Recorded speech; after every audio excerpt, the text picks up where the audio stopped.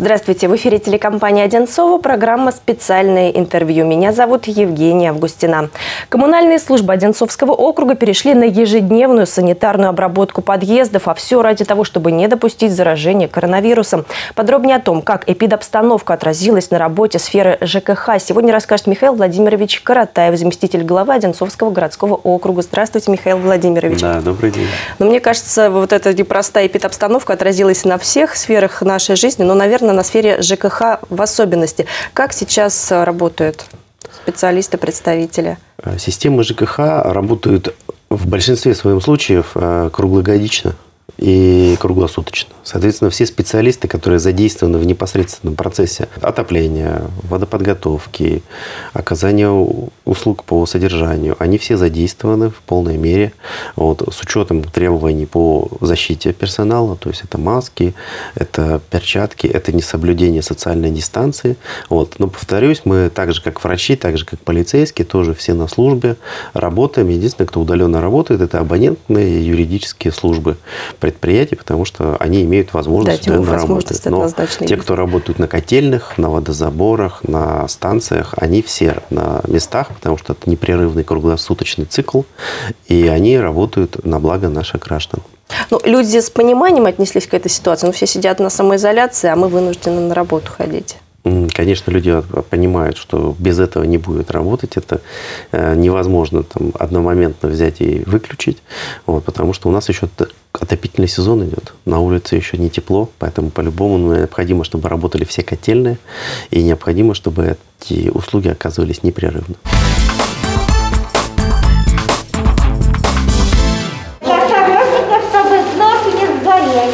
Уборка начинается с лифта. Галина Макисон ответственно подходит к своей работе, чтобы свести риск заражения коронавирусом к минимуму. Женщина старательно обрабатывает все поверхности, до которых могли дотрагиваться жильцы. Два раза в неделю мы дезинфицируем весь подъезд полностью.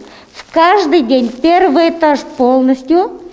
Э, на этажах все кнопки, все перила, подоконники, все. Санобработка в ежедневном режиме теперь проходит во всех подъездах Одинцовского округа, а их насчитывается 6077. На уборку выходит армия коммунальщиков – 820 человек. Сейчас она усилена дворниками. Особое внимание при дезинфекции уделяют первым этажам по простой причине – это самое проходное место жилого дома. Через первый этаж проходят все жители данного подъезда. Соответственно, условно говоря, если у вас 12 этажей, на каждом этаже 4 квартиры, квартиры. Это получается у нас 38, 48 э, человек каждый день проходит через этот э, холл первого этажа.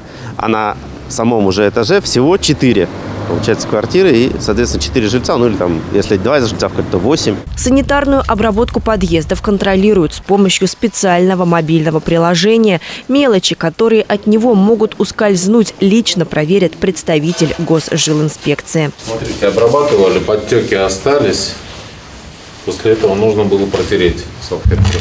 Представители ГЖИ с белой спиртовой салфеткой в руках ежедневно обходят подъезды. Так лучше видно, насколько ответственно уборщик выполнил свои обязанности. Ситуация удовлетворительная. Уборка производится своевременно и качественно. Как и э, предписано э, инструкцией, подъезды предварительно как следует э, вымыты. Нет следов грязи, пыли и так далее. После чего проведена э, достаточно качественная обработка хлорсодержащим средством. Если же вам кажется, что уборка проведена некачественно или ее не было вовсе, вы можете оставить жалобу на портале «Добродел». Нарушения устранят в кратчайшие сроки. Сейчас мы чаще всего освещаем э, санитарную обработку подъездов. А вот кроме санитарной обработки подъездов, какой функционал еще добавился у специалистов ЖКХ?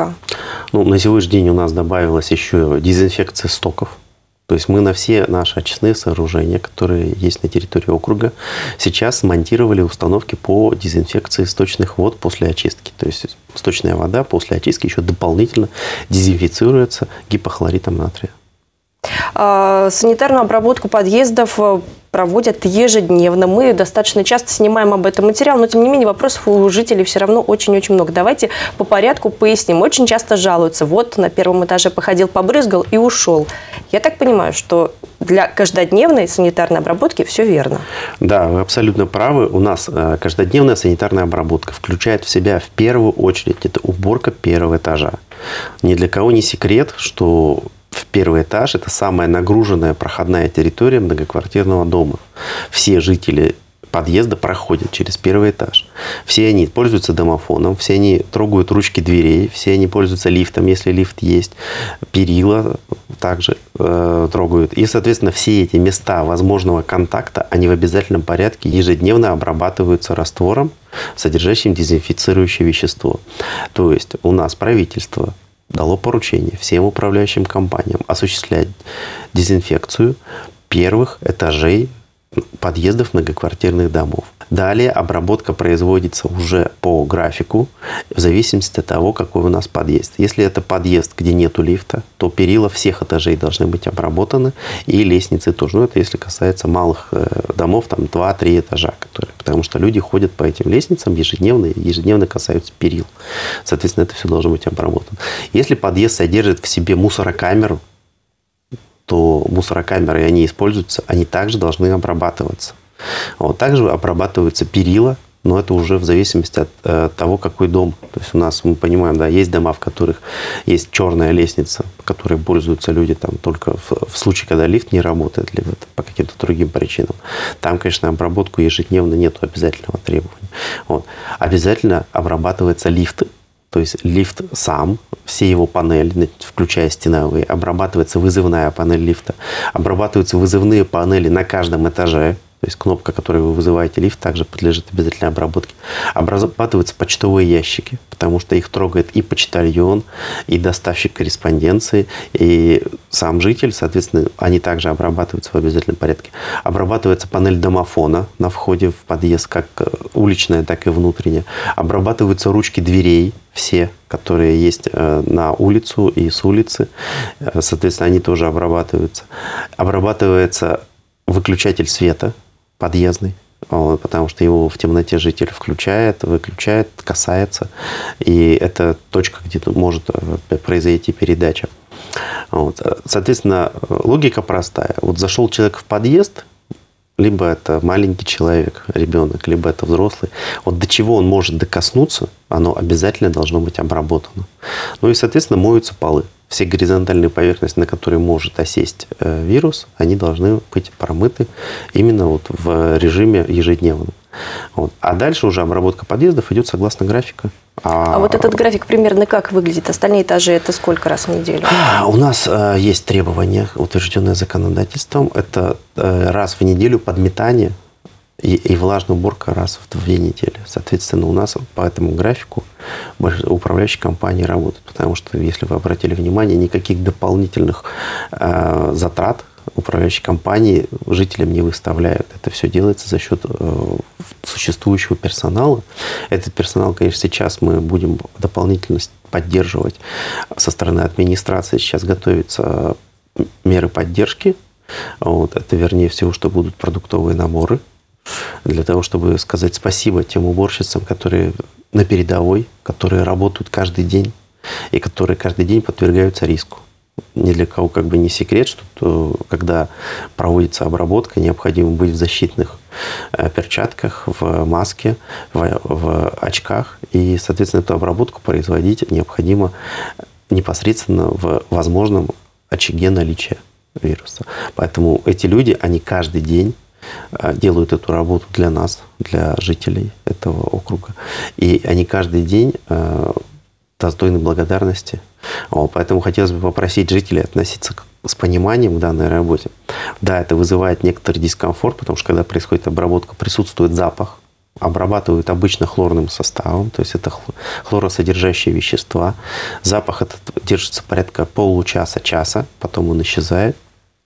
Но это время экспозиции, за время которой убиваются все вирусы. Но, с другой стороны, есть. это хороший способ понять, что обработка проводилась. Да, пахнет, значит, да. убирались. И на самом деле, кроме пахнет, еще остаются белые разводы. Ну, особенность, к сожалению, данного реагента в том, что он после себя оставляет белые разводы, которые э, не, не наносят вреда поверхностям, но которые, к сожалению, эстетически не очень э, выглядят хорошо. Вот. А панели лифтовые э, тоже требуют обработки, соответственно, их э, в зависимости от ситуации каждая управляющая компания принимает решение, чем обрабатывать.